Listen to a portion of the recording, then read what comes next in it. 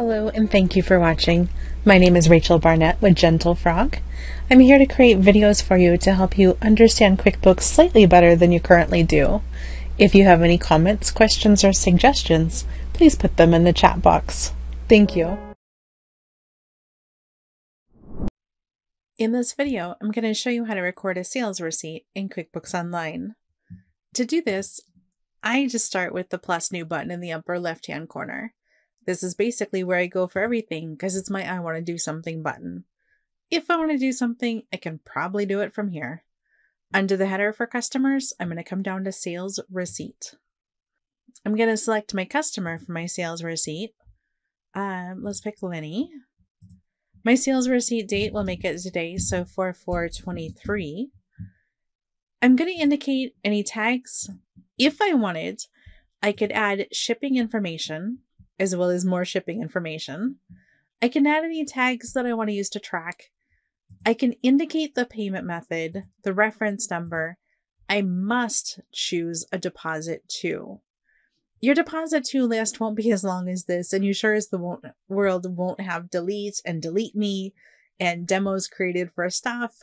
You'll likely have a checking account, maybe a second checking account, and then you'll have a payments to deposit, or for you, it might say undeposited funds. I'm going to select payments to deposit for this. On the right hand side, you might have an editable sales receipt number. You may or may not have location. I have location turned on because I'm showing people how to do stuff. Over here to the right is location of sale. Location of sale is important if you charge sales tax. This is where QuickBooks knows to go to identify what is the sales tax rate for your sale. Down below, you can identify a service date. So we'll say that the service took place yesterday and I'm invoicing it today. Let's say the service is consulting.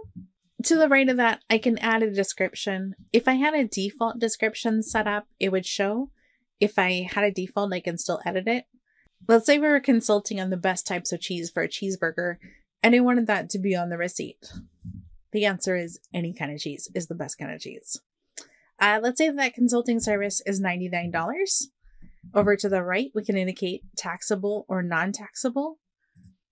So I have one hour or one service, $99 each for a total of $99.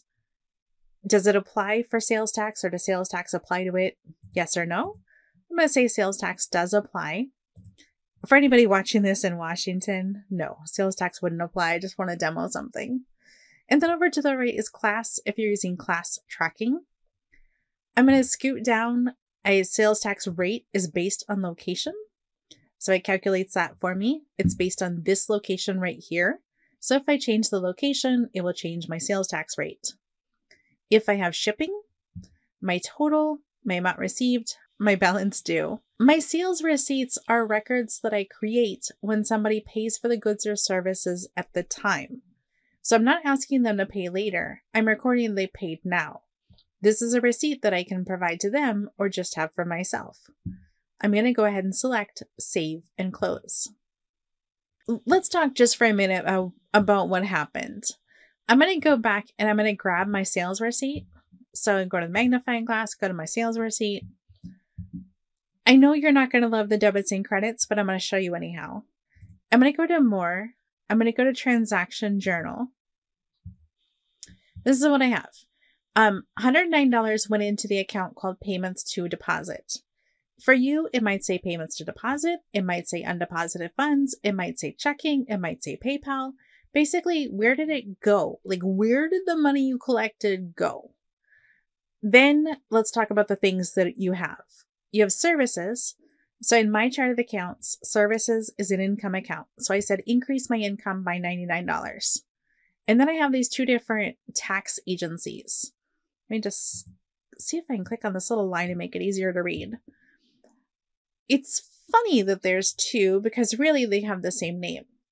The way that it works in Washington, as well as many other locations, you have a rate for the state and then you have a county or a city rate. So that's why it's broken apart, so the QuickBooks can keep track of that somewhere else.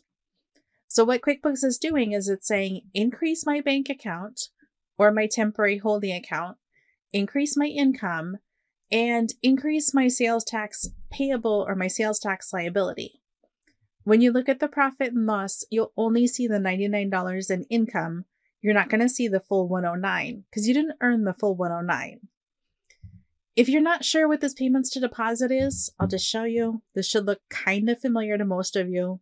If you go to plus new in the upper left hand corner of your screen, on the right hand side under bank deposit, when you select bank deposit, this is your payments to deposit.